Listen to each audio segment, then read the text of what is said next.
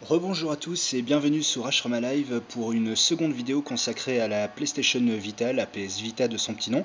Donc après une première vidéo de déballage, on va rentrer dans le vif du sujet.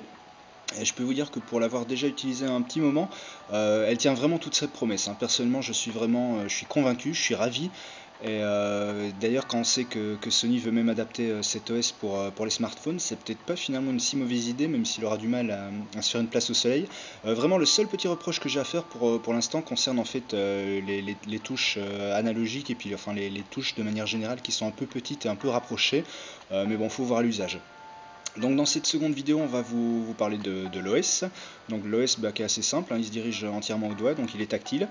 Euh, donc vous pouvez voir sur la première page, donc quand on bascule de haut en bas et de bas en haut, en fait on navigue entre, les différentes icônes. Et quand on bascule de, gauche à droite, en fait c'est l'équivalent du multitâche. Donc en fait ça permet de, naviguer dans les dernières fenêtres euh, que l'on a ouvertes. Alors un, un, petit truc déjà intéressant que je voudrais vous montrer, c'est sur le PSN, sur le PlayStation Network puisqu'il y a une bonne euh, première agréable surprise, c'est le prix des jeux dématérialisés. Euh, on savait donc que sur PSP euh, c'était légèrement l'arnaque puisque souvent on trouvait les, jeux plus chers sur, en dématérialisé que ce qui coûtait en neuf. ici c'est clairement une bonne surprise puisque ben, je viens de retrouver quasiment tous mes jeux et ben, moins cher que, le prix que je les ai payés.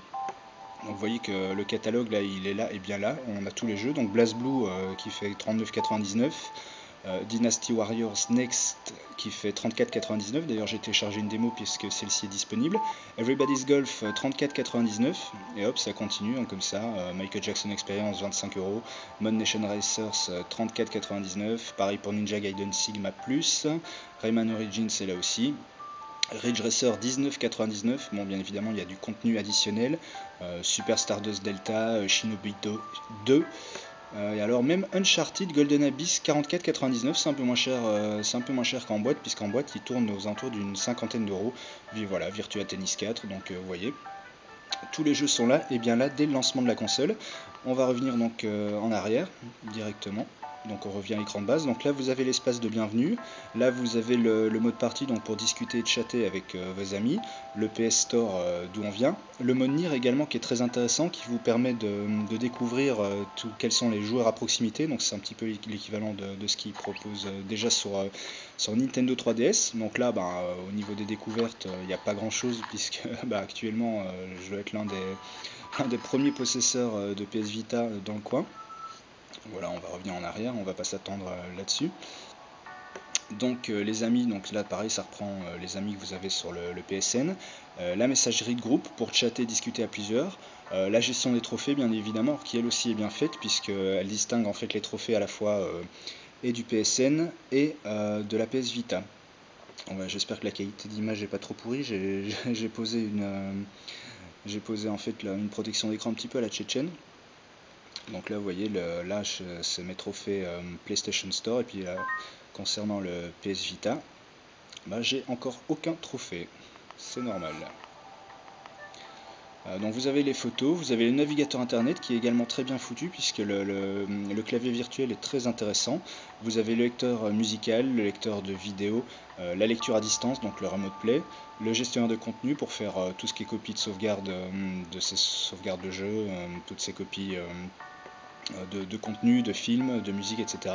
Les paramètres, là la démo de Dynasty Warriors Next que j'ai téléchargé, et puis alors donc le jeu qui est installé, donc là en l'occurrence Ninja Gaiden Sigma Plus, et puis alors carte qui, euh, est basée en fait euh, sur Google Maps. là en haut à droite c'est l'icône de notification, donc par exemple quand vous téléchargez une démo, ben, vous voyez qu'elle apparaît ici, donc là par exemple on voit que j'ai téléchargé Dynasty Warriors Next, l'application a été ajoutée à l'écran d'accueil et puis vous voyez également les amis qui sont en ligne. Donc euh, vraiment l'interface, euh, l'interface est très intuitive, elle est très très très bien faite. Donc là vous voyez je viens d'ouvrir euh, le centre de notification.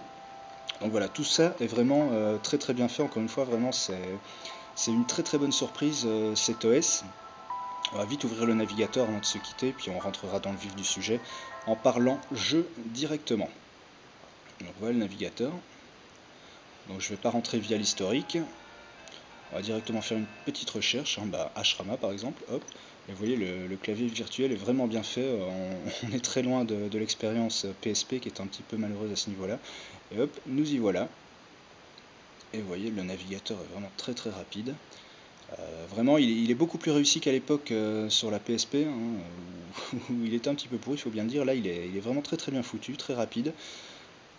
Et donc voilà, là vous êtes directement sur le site d'Ashrama. Donc voilà pour, pour, ce qui est du navigateur. Euh, et voilà pour ce qui était sur le, pour le tour du propriétaire. Donc voilà, l'OS est vraiment euh, très très agréable. Il est vraiment très très bien foutu. Alors vous voyez qu'ici on a le, navigateur rapide, hein, le, multitâche. Donc tout ça se fait de façon vraiment très fluide. Euh, ce que je vous propose de, faire, c'est de se quitter là donc, pour la présentation de l'OS. On a fait rapidement le tour du propriétaire et puis on va se retrouver ben, très très vite pour faire euh, une nouvelle vidéo. Cette fois-ci, on va rentrer dans le vif du sujet avec un jeu directement. A tout de suite